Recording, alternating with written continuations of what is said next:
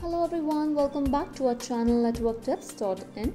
In our first video, we have installed FortiGate firewall in VMware.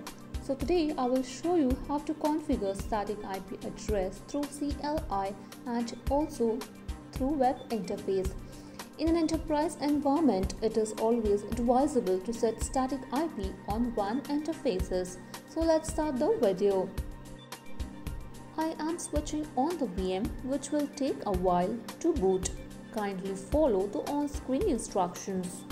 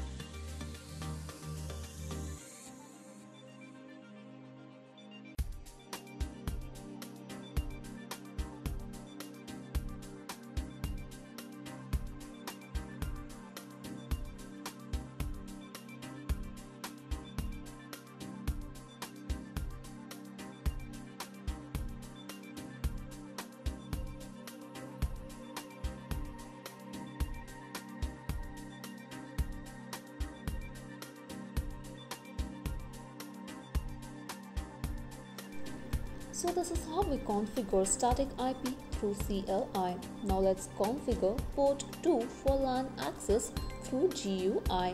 This LAN port will be used to connect Windows VM in a subsequent videos.